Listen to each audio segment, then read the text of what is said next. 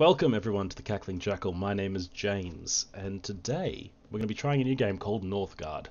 Northgard is a, uh, real-time strategy, um, yeah, real-time strategy Viking game. Uh, similar, sort of, to Age of Empires, but with a bit of a different focus and uh, a little bit, a little bit simpler, simpler. But uh, there's definitely a lot of depth in the game. Um, there's no doubt about that. It is in early access right now on Steam. Um, it's pretty good. Uh, I'm not going to recommend it purely because I don't recommend early access games as who knows what you know what kind of physic what kind of finished state it'll look like if it ever gets finished. Um, so yeah, that being said, I've played two sort of half games of this to sort of get my myself situated in the game. Um, I think I have a better idea of what I'm doing now, but still not exactly a perfect idea of what I'm doing. So, checked in our name. We're going to go grey, uh, grey, purple, purple. Let's go purple. Uh, medium map size, three AI players, and a bunch of victory conditions that I do not understand. I think I understand domination, I believe, is killing everyone else. And wisdom might be the researchy lore one. I don't know what these ones are. Fame. Fame is a thing that I sort of know. Anyway, let's get into that. First, we need to choose our clan. So, you can see there's a bunch of clans here. Clan of the Wolf, Stag, Goat, Raven, Bear, and Boar. I have the last two games I sort of started, I played as Bear, and I'm like, oh, that's kind of cool. Um, this game definitely has a seasons uh, thing going on, so it's either you know winter or not winter. Um, and the bear is better at surviving the winters, and actually gets a bear you can summon, which is kind of cool. But it only defends; it doesn't attack enemies, which is yeah. Um, but that's pretty cool still. Uh, then I tried goat. Um, goat is interesting. Sheep are cool because sheep allow you to uh, reduce some of the wood consumption that you have, especially during winter. Um, and it also allows you to build a sheep sheepfold, which is basically a little building that allows you to harvest food from sheep. Um, and you have better feasts. I don't even know what feasts are yet. I haven't I haven't done one. I haven't done one at all. Um, now, fame bonuses, I believe, are when you reach certain levels of fame. So by doing certain things like, you know, clearing out a Draugr thing, or you know, get clearing out a, a wolf's den, you can get fame. And I believe it's one way to win. I don't understand how, but you probably just have to get to a certain number. But when you get to 200, you're going to get this first um, ability, and when you get to 500, you get the second one. So I was having a look at Raven. Raven sounds interesting, but you need money, and money is kind of hard to come by in the beginning of the game. Um, this one you just sort of have, have a, better start. And this also produces fame from the brewery, from the Skald, which is the replacement of the brewery. Um, this is killing things, provides meat. Boar, I think, was only recently added to the game. Whatever, we're just gonna go boar. Let's go. I don't know. I don't know what I'm doing. I probably should have read those abilities before clicking play, but I'm gonna live on the wild side. Like a boar. Game's loading. Almost ready. Now, first of all, this game is beautiful, as you can see. Um, it is this gorgeous little cutesy, cartoony, cartoony look to it. So there's a villager. Now, we start off with a town hall. Town halls allow us to make villages. They also allow us to give birth to new villages, as long as we have positive happiness. How do we get positive happiness, you might ask? Well, mostly it's going to come through getting a certain amount of territory. Um, each uh, as the game goes on, that expected number is going to go up there. Right? So, for instance, the game is going to go on a bit more, and then it'll go, hey, now I expect you to have at least two happiness. Um, and we're going to get more happiness by having more territory. While that resulting number, happiness number one, uh, is positive, because we've got 2 minus 1, we're going to produce more babies. Also, as long as we have enough population. Once this baby is born, we're going to have 5 out of 5. So first thing we need to do is build a new house. This should be very familiar to anyone who's played any sort of real-time strategy game. Have we got our have we got our villager yet? Probably not. Next thing we're going to need is a scout camp, and the last thing we're going to need is also a woodcutter's lodge. Now, we can build five buildings in our home region, and every region adjacent to that. Well, in every region that we colonize, we can build three. Um, so, how do we get new places, you ask? Well, we're going to have to get some scouts. So, mate, you're going to become a scout, and you are also going to become a scout. This is going to change them from being villagers to being scouts down here. And now what scouts are going to do is they're automatically going to go find the nearest border, which is this one here, and this one is going to go find this border, and they're going to start scouting it. When that reaches full, we'll be able to see what's in there. It might be wolves, it might be uh, kobolds, it might be farmland. We don't know yet. Now, we're also going to need some woodcutters, because to survive, we need both food and wood. And we need to try and stockpile as much as we can before winter comes around. You can see we are currently here in the year. Here is when winter starts. Cool, so we've currently explored these two tiles. These uh, scouts are just going to go, go off and find more tiles to explore. You can see in here we have one wolf, and in here we also have one wolf. Now, we could fight them, but at the moment we don't have any warriors, and warriors are pretty important. So, how do we fix that? Well, first things first, we're going to buy a build a training camp.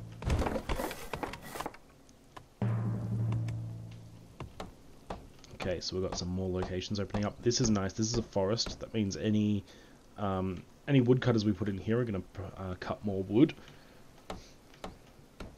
And there's a ruin in here, which means that we will be able to uh, send a scout in here if we colonize this land.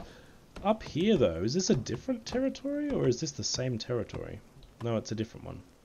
Okay, but you can see we actually have some some little kobolds. These guys are kobolds uh, camping up here.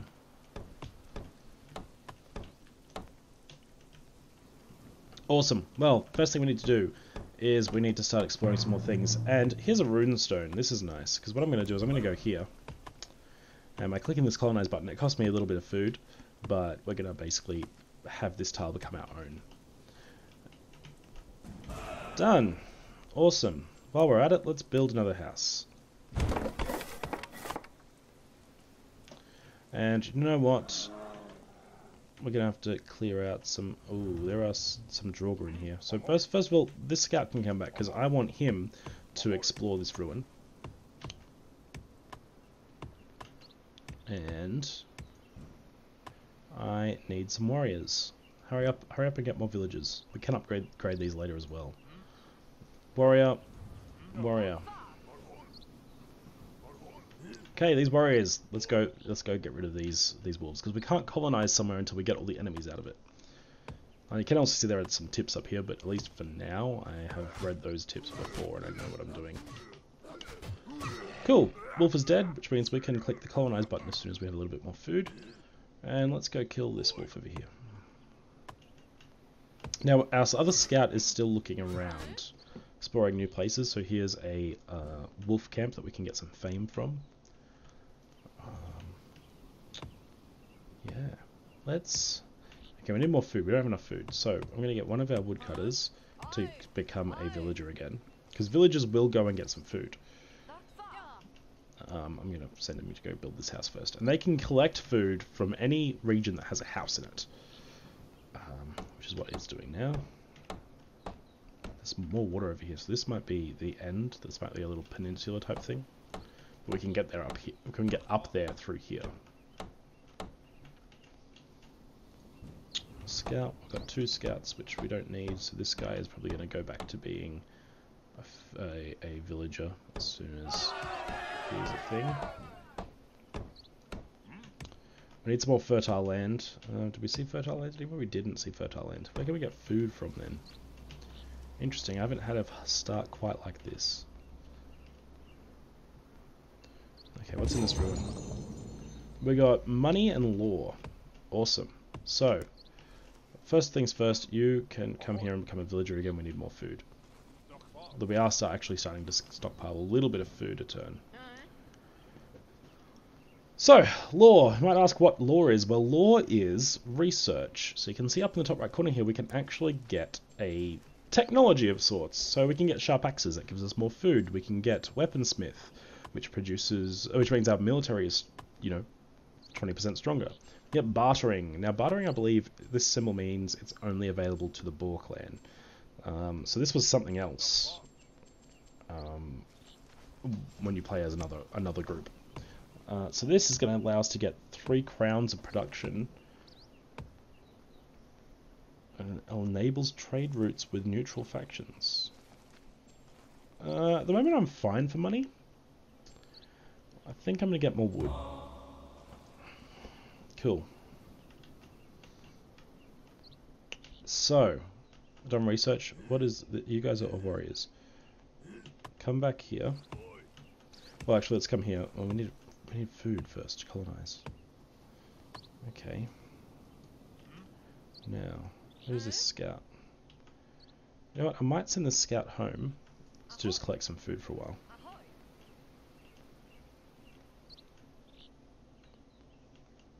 Because I think we've explored enough for now. We are also going to want a, not a woodcutter's thing. Oh, whoops. How do I get out of that? There we are. A mender's hut. So a mender's hut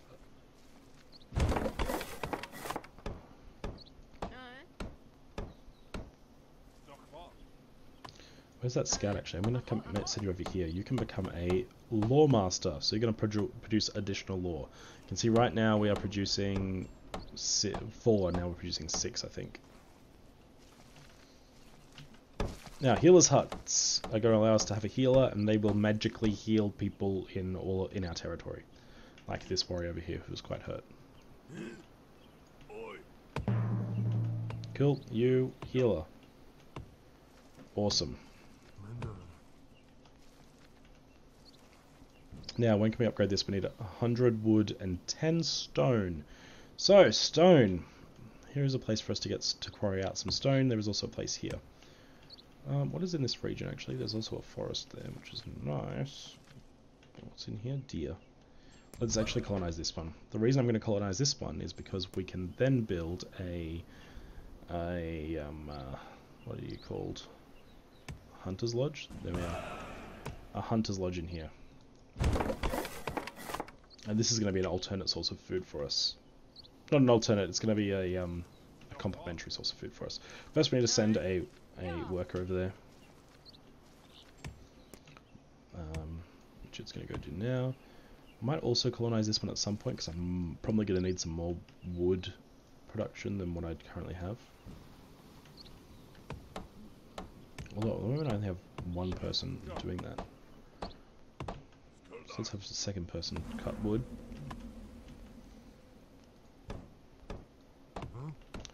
Are you not doing anything? Oh yes, you can see over here. So this this mender, if I click on the mender, it's actually going to tell me. But can see. Oh, you stopped. You stopped healing. Oh, that's because they're at full health. Cool. Uh, the when their health bar shows, that means they're injured. When there's a little plus next to it, it means that they, they are currently getting healed. So, is there just one wolf up here? There's two wolves. Let's kill those two wolves.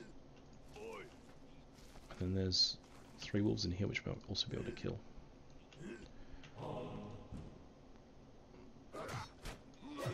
Cool. So, start whacking these wolves. Cool. Let's retreat this guy. Start getting healed. So you can see this plus sign means he's getting healed. And this wolf's about to go down. Cool. There's more, wolves over there. But these guys can come in here, start getting healed, and get ready for the next fight against these wolves.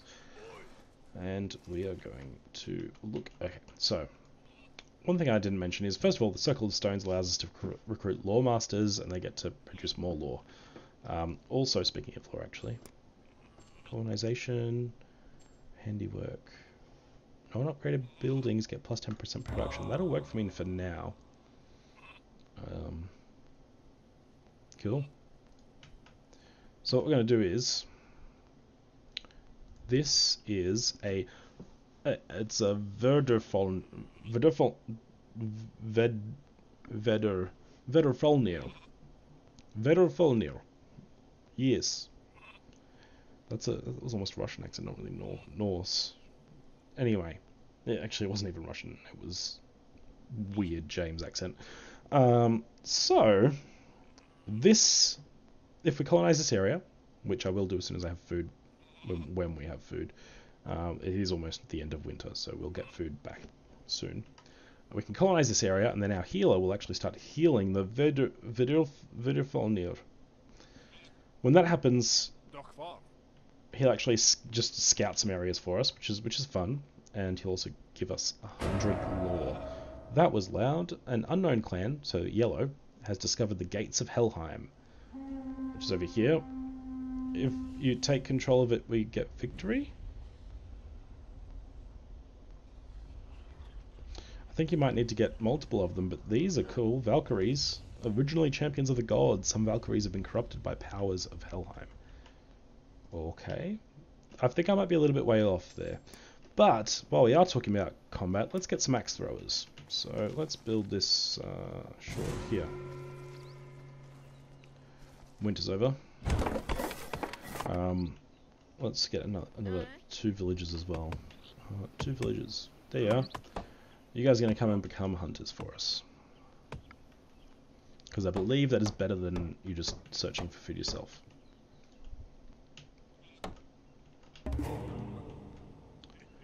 Um, our clan made it to a new year, indeed. Awesome. Oh, we get some... Uh, oh, victory conditions. So, if you control it for one year, you get to... You win from getting Helheim. Cool.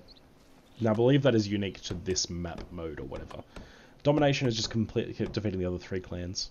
Fame is getting a number of areas and a number of fame and building fame and building the altar of kings.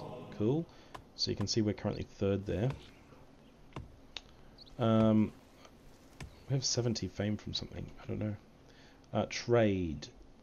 I'm there currently. So I currently have 257 crowns collected and 127 in stock. Cool. So basically, you can just get a bunch of money and a bunch of merchants and sailors to win this one which I guess we're 3% of the way there. Uh, and wisdom is four blessings from the gods. So that requires us to, speaking of blessings from the gods, they're down here. They require us to learn enough languages, uh, enough lore things. So, herbalism. Increases population growth speed. Ooh. Weaponsmith might be nice as well. Let's go, let's actually go bartering. See what happens there. Cool. Uh, let's organize a feast. Oh, okay, that works. Feast costs food.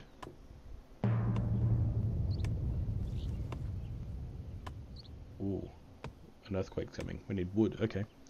Um, so this gives plus 2 and 20% bonus to all production and happiness for one month, and plus 20 fame. Interesting, so that's how you get fame. Uh, let's also go grab two more people, and you guys can become axe throwers. And we'll also get someone to build a house. Is there anything else I'm going to want to build over here? Probably not.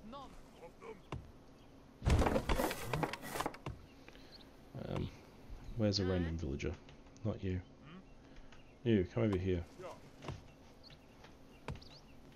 Okay, do we have axe throws? Cool. Come join these guys. These guys look pretty cool as well. In fact, they all they all look cool. Look at them. Ah, people are unhappy because we don't have enough territories. Let's fix that then. I believe a brewer's place will also heal people. You. Go heal up. Same with you. Um, I can colonize this now. That's good. If we colonize this, we can uh, we can get rid of this thing, which will give us some fame, which is nice. We are producing a lot of food right now, which is always nice.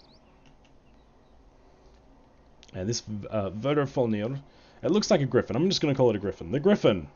There was also iron in here. I didn't notice that at, all, at first. Uh, when we, so if I move these guys out so that my healers can't heal him, you'll see it's actually healing that guy there. And then we actually have a way into um, hell. Okay. So... This might do us for episode 1. I have a good feeling about this game. We do need some stone as well, so this is another place we want to colonize. Um, or, or this one here. Um, is that stone? No. And we get the iron there. That'll help us start upgrading things, so we can up upgrade the town hall. We need to make people happy. Um, yeah, we do need to make people happy, don't we? Yep. Ah, before we go, let's let's get some lore. So we can either simple living, construction costs are halved, which is nice. Shipbuilding, I don't even know what a sailor does yet, so eh. Fur coats, militia, sharp weapons, defensive. Um, let's go recruitment. So we're not happy right now, but uh, when we are, we'll produce people quicker. So, for this episode, I've been James. This has been the Cackling Jackal. Thank you for coming, and hopefully we will see you next time, where we can continue playing Northgard.